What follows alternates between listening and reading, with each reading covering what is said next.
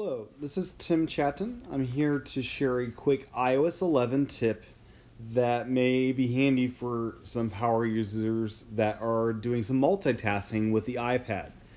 Uh, the tip is uh, a, a way to get a different multitasking app going uh, without uh, going through a lot of hoops.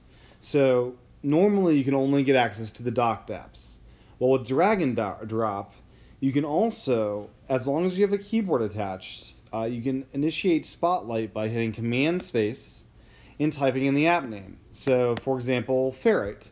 Ferrite's not on my dock, but I want to put this as one of my main apps. So you'll see as I do this, it'll darken the area that the app will then encompass. So I can drop it there, and if I get rid of Spotlight, there's the new app. So that's how you use drag and drop to access any app on your iPad to switch it to the main uh, the main view for for uh, doing uh, for doing uh, multitasking. So hope this tip hel- helped. I'll be back for more iOS 11 tips and tricks. Stay tuned to this channel, youtube.com slash Thanks for listening or watching. Bye-bye.